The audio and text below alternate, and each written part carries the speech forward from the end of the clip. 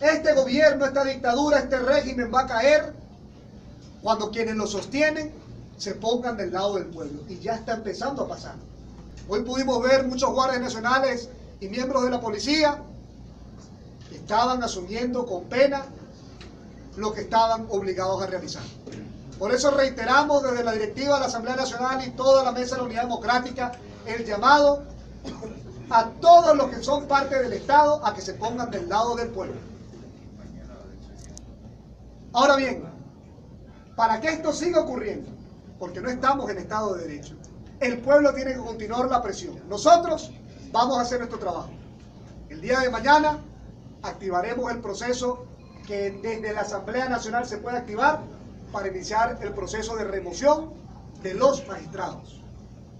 Pero también la ley le, otorga y le facilita a los ciudadanos la posibilidad de ser ellos mismos los que también activen un proceso y un procedimiento para destituir a los magistrados.